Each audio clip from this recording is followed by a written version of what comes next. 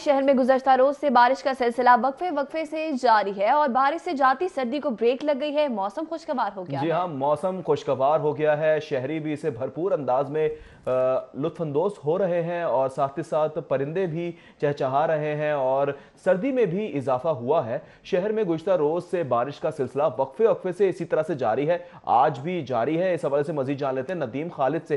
ندیم بتائے گا موسم کیسا ہے؟ محکمہ موسمیات کا کیا بتانا ہے؟ شہری کس طرح انجوائے کر رہے ہیں؟ جی بالکل، شہر کے مختلف علاقوں میں وقفے وقفے سے بارش کا سلسلہ جاری ہے اور اس وقت بھی شہر کے مختلف علاقوں میں کہیں ہلکی بوندا باندھی اور کہیں تیز بارش ہو رہی ہے اور گزشتہ روز سے بارش کا یہ سلسلہ شروع ہوا ہے اور محکمہ موسمیات کا کہنا ہے کہ آئندہ چوبیس گھنٹے بھی یہ جاری رہے گا، دن کے اوقات میں بھی مزید بارش کا امکان ہے۔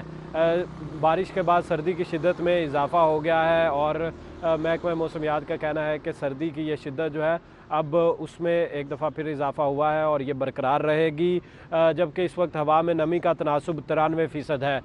ترجمان سٹی ٹریفک پولیس کا کہنا ہے کہ شہری جو موٹر سائیکلیں، سڑکیں جو ہیں وہ گیلی ہونے کی وجہ سے خاص طور پر موٹر سائیکل چلانے والے حضرات جو ہے وہ احتیاط برتیں اور رفتار کم رکھیں جبکہ ایک دم بریک لگانے سے بھی جو ہے وہ منع کیا گیا ہے۔ ایڈوائزری جو جاری کی گئی ہے سٹی ٹریفک پولیس کی اس میں شہری جو صبح سویرے اب سڑکیں جو ہے بہت ساری جگہوں پر پانی بھی کھڑا ہوتا ہے۔ تو اس لیے اور سلپری ہونے کی وجہ سے روڈز یہ شہریوں کو دائت کی گئی ہے وہ درانے بہت شکریہ ندیم خالد۔